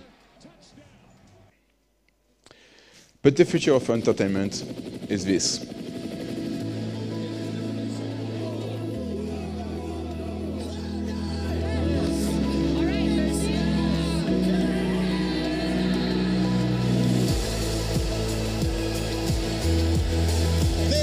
One of the biggest esports events in the world, has toured the planet. Thanks to all fans who's come here to support us. It means a lot. The video is cool. Love you guys. You have to believe it. all we want to do is play on the big stage. This is where we grow as players. I think everyone was just really pumped up to get out there. It's a grand stage for a grand game. Against the best in the world. Unbelievable. What a storyline that is. Okay. The biggest, most important point, we have got. Strange. I don't know. Maybe I've.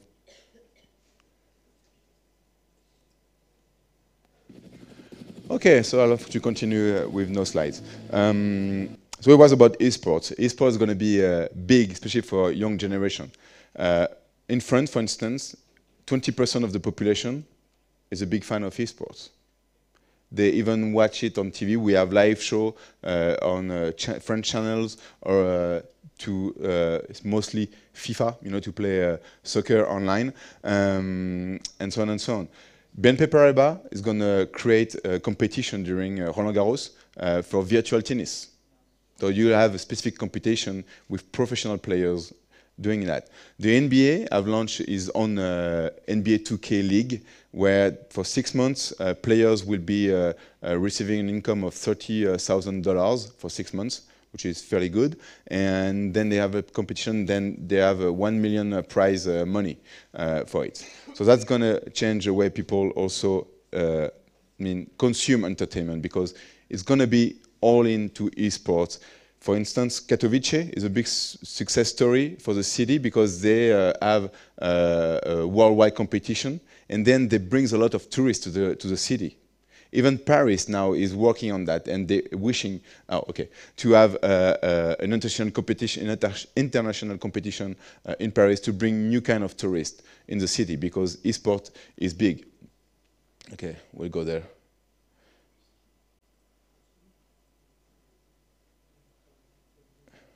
Few more clicks and then we go.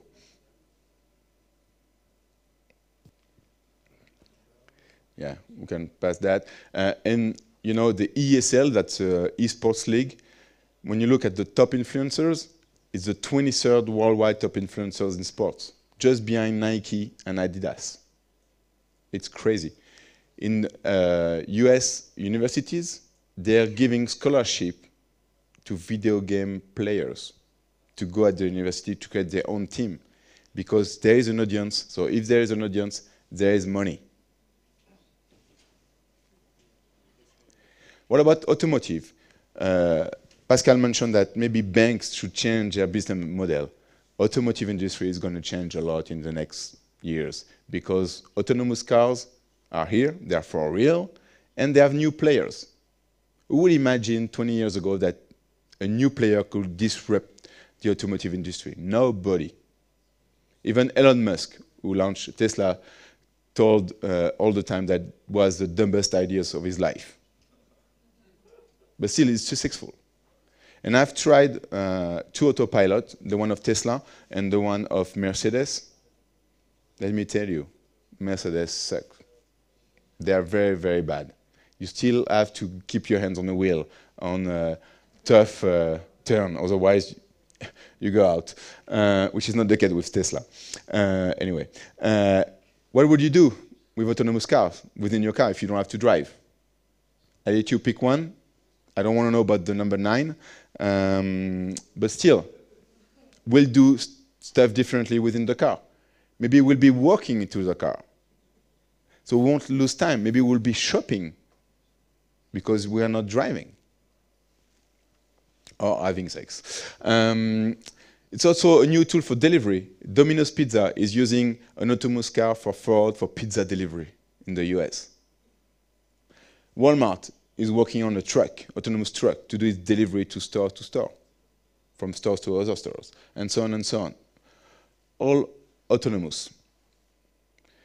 Maybe it's going to change also the way retail is made. You know, maybe we'll have a Uber-like uh, retail or stores where I'll be able to know the location of a store with a pod like this one from Toyota, and then I ask for, let's say, the shoe store to come nearby, and then I'm going to try on the shoes, buy the products, and then the store's going to leave. That's already the case in the University of Shanghai. They have a convenience store, autonomous one, that during uh, day class uh, is close to the classrooms, and then at night is close to the dorm rooms, where the population is. So it's easier to consume. So maybe tomorrow we'll have all these pods like this one. Maybe that's going to be my office when I'm traveling and so on and so on. But everything is possible because behind all I've showed you, there is some algorithm, there is some artificial intelligence, even though I don't like the, the word intelligence. Um, because I would say the artificial intelligence of 2018 is like the internet of 1998. 98. Uh, but see, our internet has spread worldwide. It's going to be same thing for AI. It's everywhere. It's going to be in our life. It's already the case, but it's going to be our, in our life all the time. Uh, that's a lot of investment. Uh, see, one, uh, 141% jump of investment in uh, 2017. That's crazy. Everybody is investing in AI. We are investing in AI as a bank as well, a lot. But AI is dominated by two countries, China and the US. 86% of the, all the investment are made into by these two countries. So they're going to run the world. That's a new uh, nuclear weapon, like. Because if I run and manage the uh, artificial intelligence, then I can run everything. So the, the world is going to be torn apart uh, between China and the US if they are still managing to run artificial intelligence tomorrow. And big, there's nine big companies that control artificial intelligence. Three from China and six from the US. But the biggest one is Alibaba. They're going to invest $15 billion in artificial intelligence. So that makes me smile when our French president announced that he's going to create a 1.5 billion uh, investment for the next five years on AI. Because we're going to lose anyway. Um, but still, we'll see how it goes. Uh, now the commerce uh, of today, I talk about the showroom, is also into the marketplace era.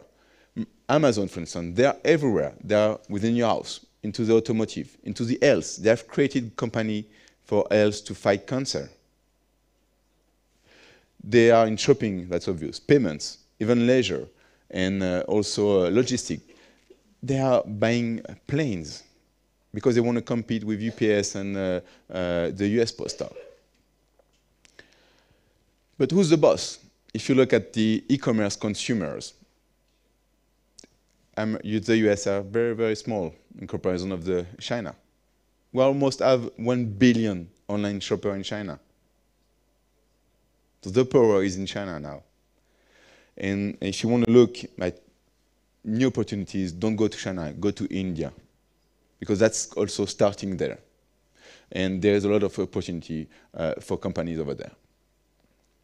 And Alibaba, uh, competitor of Amazon but in China, uh, has the same strategy. They are everywhere.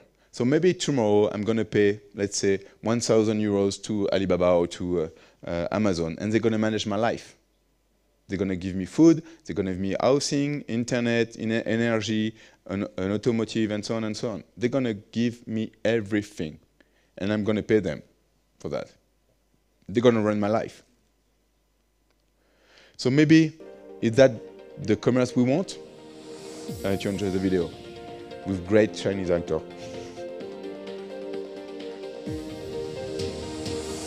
So that's the project to sell cars in China by Alibaba. Image recognition, scan, they recognize the product, the car.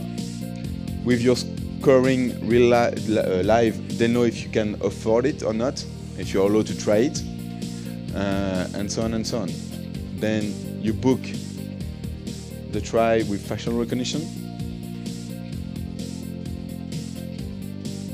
and everybody's happy. Ooh.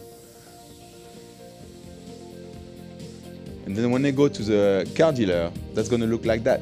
No human. You go there, they're to recognize your face, bring the product to you, then you have uh, three days to try on uh, to try the, the car, and whenever you want, You just have to click one button to buy it. And they're gonna run everything because they, they know all your life. Do you know that single guys in China, they put their credit score into dating application to show women that they're real, re- reliable and, and secure? Kind of same thing. So that's a lot of technology, a lot of stuff. Uh, but first of all, when you want to try something, uh, there need to be a purpose. Uh, we have seen a lot of companies doing ICO, creating a cryptocurrency, a crypto money, uh, for nothing, because they need to have a purpose. They need to have an objective. So innovation is great, but think first before trying something, uh, because it has to, it needs to have a purpose for your business and to have an impact for it. And thank you, guys.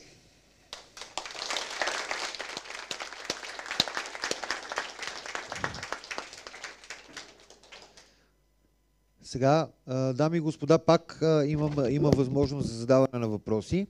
Ето сега ще отворя слайдо. Нека всеки, който желая в залата. Добри, добри е там с микрофон. Ако някой иска да попита Никола нещо междувременно. Nice. Здравейте!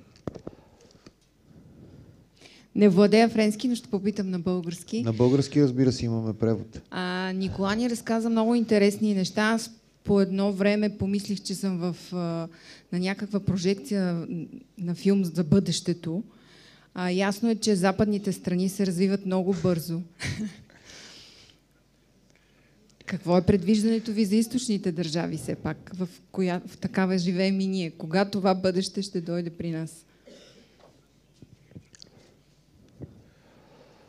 So first, I think it's already here, uh, some in some way. Um, you, some, uh, somebody asked about the innovation into the store. I think it's more and more transparent because it helps run stores, manage uh, the content, the goods, uh, and uh, to be more efficient because uh, it's killing stores that the product is missing, for instance.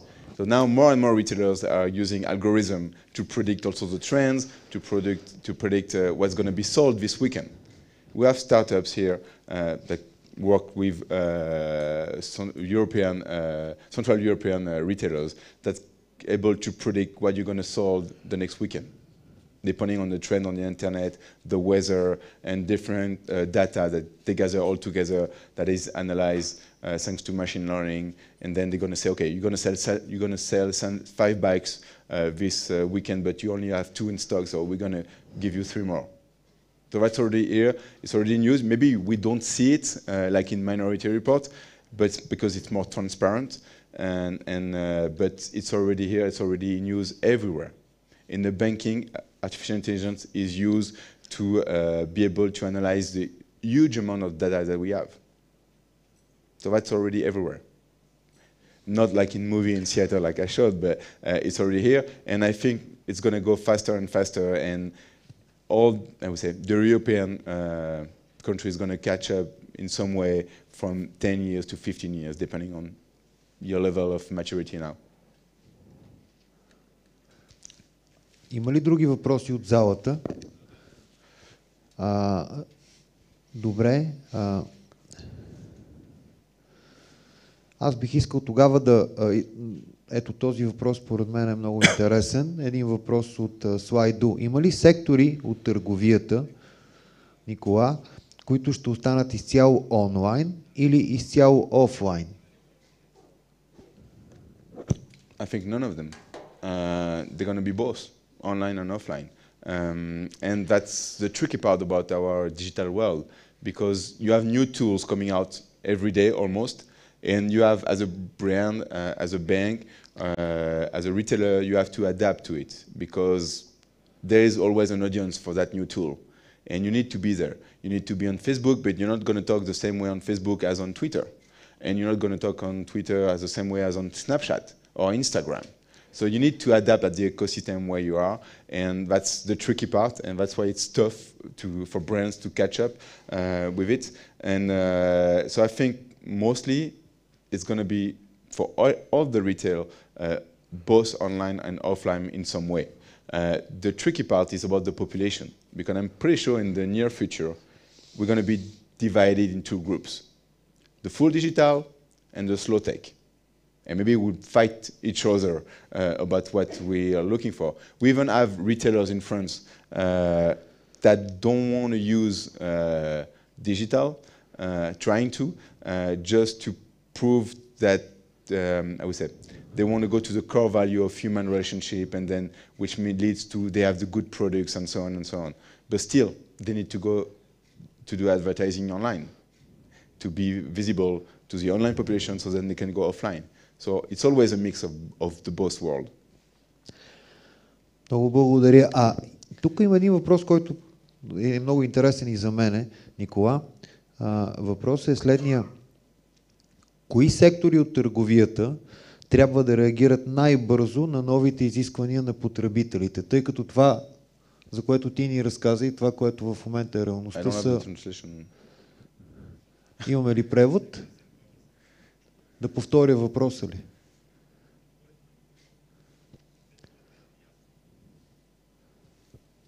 Добре, ще прочета, тъй като не ви чувам, ще прочета въпроса още веднъж. А, кои сектори от търговията трябва да реагират най-бързо на новите изисквания на потребителите?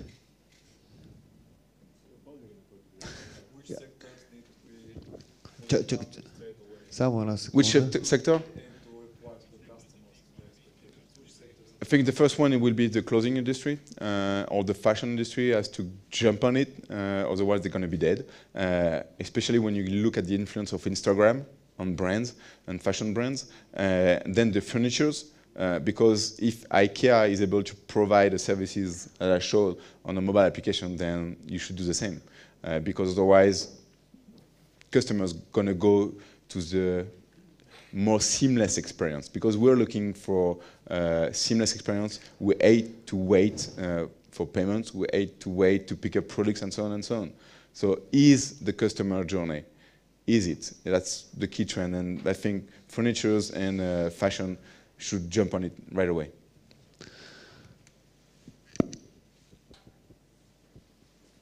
А, добре, много благодаря. Нека да, да изберем друг въпрос. Има ли други въпроси от залата, между другото?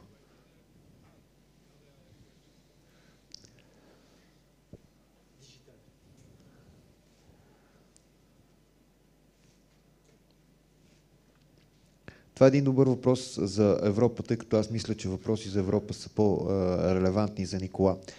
А, въпрос, въпросът е следния. В Европа компаниите ли ще потикнат потребителите към използване на всички тези технологии или по-скоро потребителите ще заставят в кавички компаниите да ги приемат? Кой, ще, кой кого ще накара да а, въведе тези технологии?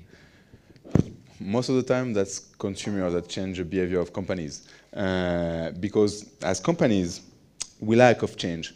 Uh, we don't like change. Uh, that change the way of method, that change the tools, that needs investment. And uh, I don't know a lot of companies that likes to spend money uh, through the window, I would say. Um, but so, so that's from the customers. And if you look at it uh, from a European perspective, most of the people online, where do they go to? They go to Facebook, they go to Gmail, Google, and Amazon.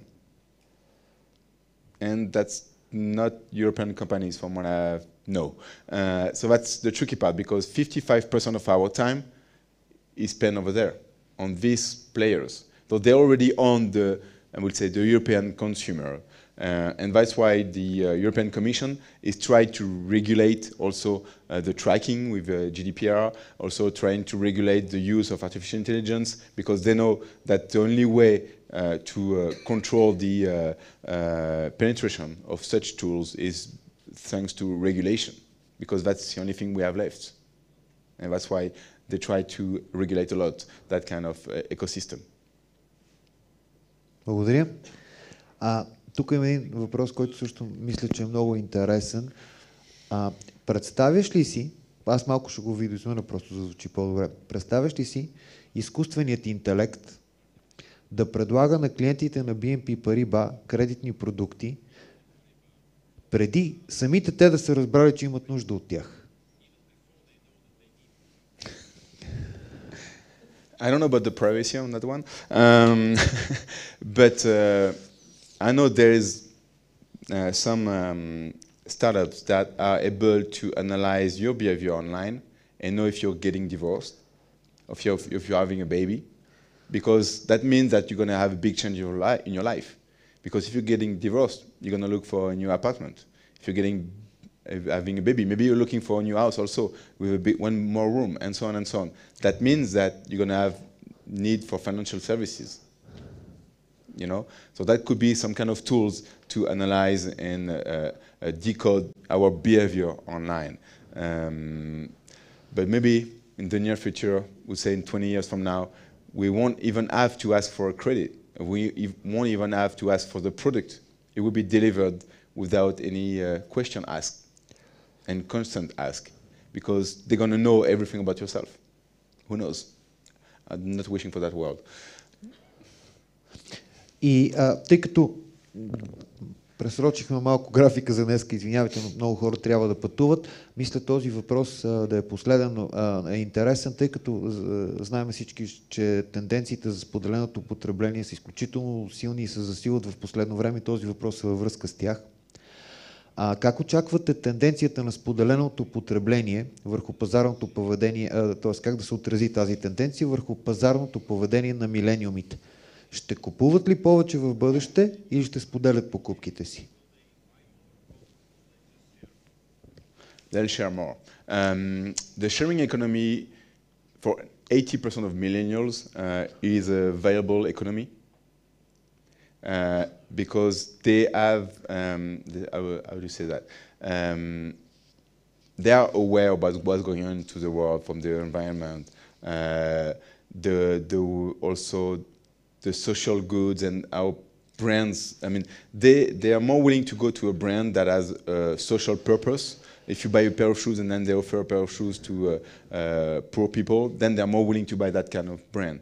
Uh, stuff like that. Because they're looking for social purpose uh, to feel good about the, themselves as well. So that's kind of stuff they're looking for, and that's why uh, all the sharing economy is getting bigger and bigger to, uh, through younger generation. And that's possible because we have the technology. Uber wasn't possible if we don't have a smartphone and we don't have 3G or 4G. So imagine five years from now we'll have 5G. Also maybe going to change the way uh, people get access to digital content or maybe create new services that we are not aware of. Много благодаря. Ами, дами и господа, аз предлагам да приключим. Бих искал много да благодаря на Никола и на хората, които презентираха преди това, защото вярвам, че първо споделиха много интересна информация, второ помогнаха на всички нас да получим една а, така, да, възможността да, да видим по друг начин това, което самите ние работим, това, което купуваме, начина по който пазаруваме. Затова бих искал да благодаря на Никола.